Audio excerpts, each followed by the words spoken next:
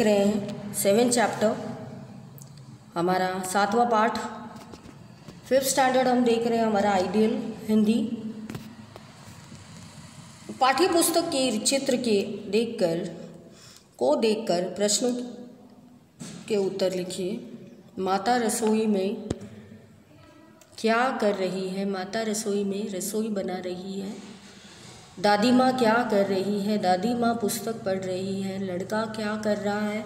लड़का खाना खा रहा है। हमने टेक्स्ट बुक में भली भांति इसका उच्चारण किया है। अब आपको देख के लिखना है। कोई स्पेलिंग मिस्टेक नहीं कीजिएगा। नहीं तो हम मार्क्स चाह कर भी आपको नहीं दे पाएँगे। रसोई आराम से, देखिए, आराम से आपको लिखना है। कोई जल्दबाजी नहीं है। रसोई, सो और ई। ई की मात्रा घर में थाली ग्लास कटोरी कप केतली कुकर डिब्बा जार आदि बर्तन हैं। तो मैं फटाफट पढ़ूँगी, टोकरी में कौन कौन सी सब्ज़ियाँ और कौन से फल है? तो टोकरी में आलू फूल गोभी लौकी, टमाटर और सब्ज़ियाँ और केला, सरे, सेब, अंतरा, संतरा आदि फल है। तो हम ऐसे भी पढ़ सकते हैं, बट आपको आराम से पढ़ना है, खिड़की के बाहर क्या लिखाई दे रहा है। तो दिखाई क्या दे रहा है आपको? खिड़की के बाहर अच्छा नीला आकाश, आसमान और बादल दिखाई दे रहे हैं। तो आप लिख सकते हैं, जैसे आकाश लिखने में प्रॉब्लम है तो आसमान भी आप लिख सकते हैं। आपको लिखना आना चाहिए, आपको शब्द मिलने चाहिए। दादी अम्मा क्या पढ़ रही है? तो दादी अम्मा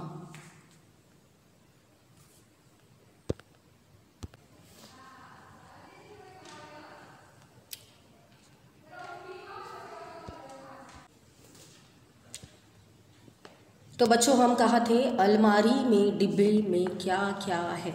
अलमारी के डिब्बे में मिर्च, मसाले, दाल, तेल यदि है, आदि है, ठीक है? तो हमको, हमने डिस्कस किया था ओरली अब हम रिटिन में लिखेंगे, माता कहाँ बैठी है? माता चूल्हे के पास बैठी है। नेक्स्ट है डैश खाना खा रहा है। कौन खाना खा रहा है? देखेंगे हम ए लड़का। टोकरी में क्या रखा है? टोकरी में बी और सी मतलब फल और सब्ज़ी। नेक्स्ट है, रसोई में खाना कौन बना रहा है? एक्सक्यूज मी तो माँ खाना बना रहा, रही है।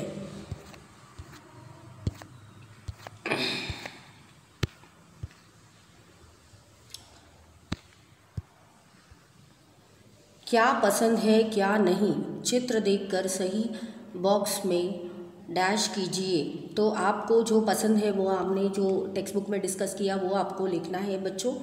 केवल वो ही आपको लिखना है, जो पसंद है वो भी लिखना है, जो ना पसंद है वो भी लिखना है। टिक करना है अच्छा न लगे तो भी भी आपको खाने की ज़रूरत है। जैसे करेला है, ये सब है बच्चों, क्योंकि ये आपको काफ़ी पोषण देगा। तो आपको यहाँ लिखना है, मेरे क्या पसंद है, क्या नहीं पसंद है। चित्र देख के आपको रॉन्ग और राइट कीजिए। तो ये पेज हमारा यहाँ पे ऑलमोस्ट डन है बच्चों। यहाँ पे आपको एक वचन, बहुवचन हम करेंगे। लड़का स्कूल जा रहा है, लड़के स्कूल जा रहे हैं। तो एक वचन, पुस्तक पुस्तक खुली है, पुस्तकें खुली है। कमरा खाली है, कमरे खाली है। तो थर्टी ए सिक्स पेज हमारा फिनिश हुआ थर्टी सेवन भी। थर्टी एट पे हमने लिखा है बच्चों, ये पेज हम देखेंगे, क्या यहाँ दिया है। मेरे घर मेरे घर पे एक पंखा है, मेरे घर में कई पंखे हैं। घोड़ा भाग रहा है, घोड़े भाग रहे हैं।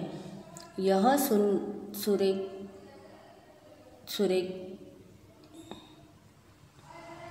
सुरेंद्र का बेटा है। यह सुरेंद्र के बेटे है। दीवार पर रज, राजा की तस्वीर है। दीवार पर राजा की तस्वीरें हैं। तो मैं वक्त लेके इसलिए पढ़ रही हूँ क्योंकि काना मात्रा भी मैं देख रही हूँ। उसी तरह आपको बच्चों काना मात्रा देखते हुए लिखना है। सिर्फ़ पढ़ने के लिए हमें नहीं पढ़ना है। पेड़ पर, देखिए आपने देखा नीचे डॉट है ड के और ऊपर पे पे की जो निशानी है वो ली है, जो मात्रा है वो डाली है, पर चिड़िया बैठी है, पैरों पे चिड़िया बैठी है। अगर आपने एक बार ध्यान से, दो बार ध्यान से, तीन बार पढ़ी पढ़ाई की और देखा कैसे शब्द किस तरह से लिखे हैं तो चौथी बार आपको पढ़ने की ज़रूरत नहीं होगी। एग्ज़ाम तक तो आपको सब कुछ भली भांति आ जाएगा, ऐसा मेरा अनुमान है। यह पेंसिल है, यह पेंसिल ले है।